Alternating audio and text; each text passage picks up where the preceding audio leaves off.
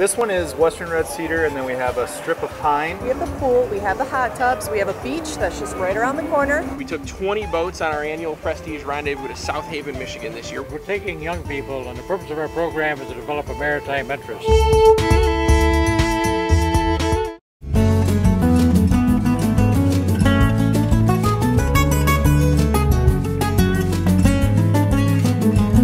Hey guys, Erik Kyle here, publisher Great Lakes Scuttlebutt Magazine, and I'm excited to be out at the Minneapolis Boat Show right here in downtown Minneapolis, Minnesota. And I love this show, by far one of the best shows I get to go to every year.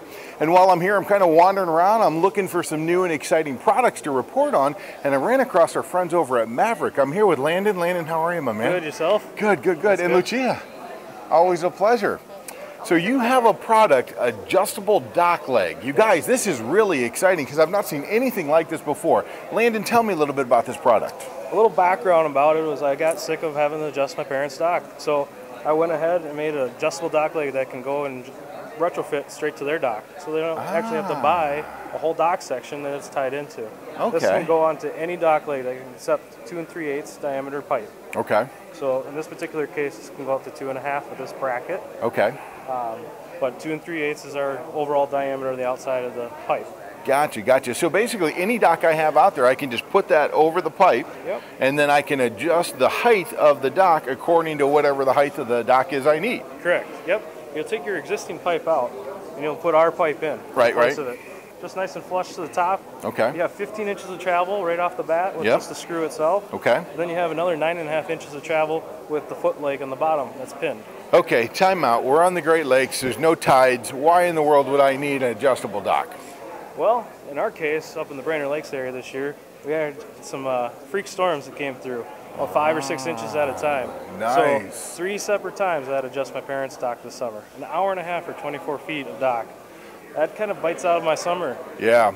Well, I know here in the Great Lakes as well, in some of the bigger water, when the wind is blowing one direction, our water, I mean, we go up yeah. and down pretty significantly. A lot of marinas like to have now floating docks because of the different up and down of the water level. This is absolutely ingenious. I've never seen this before. How long has this kind of technology been out there? Well, you know, it's been in the marketplace with some of the manufacturers, but we've been seeing some of their problems, and Uh-huh. we want to make sure that we fix it. So Yeah. we offer ability so that it doesn't rust and it won't seize up. Right? We also uh, allow it so that it can retrofit to other docks. So- Absolutely fantastic. Lu- Lucia, let's see it in action. Show us how this works. Right over here. Nice. So with any drill, Any you can just go up or down. Right up and down. Really easy to use. And you've got a full 15 inches, uh, uh, Yeah. over a foot of height you can raise and lower on that thing, and then another nine inches down on the bottom, Yep. according to whatever and you that need. bottom nine inches could also be made bigger. So Yeah. if you do have a deeper leg, Yeah, so the dock goes lower down in, Uh-huh. that nine inches could be made even longer.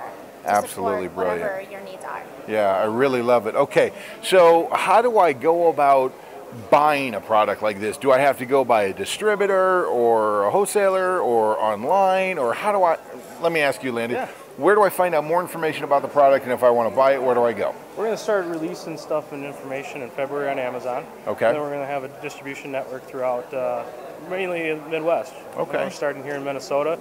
Uh, a lot of dock companies are interested. A lot of marinas are interested right off the bat. Mm-hmm. Nice. So you know, you'll see it on Amazon, maybe Cabela's. Okay. Who only knows? Is there like a website I can go to to visit for more information about the product? Yeah, it's MAV, M-A-V, Uh-huh. manufacturing, all one word, Uh-huh. dot com.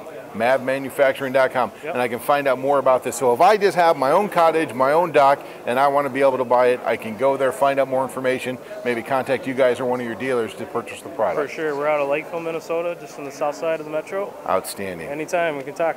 Fantastic, Landon. Lucia, great demonstration. I very much so That's what I'm here appreciate it.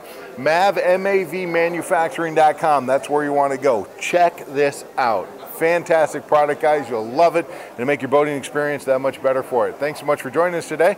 We'll see you out on the water.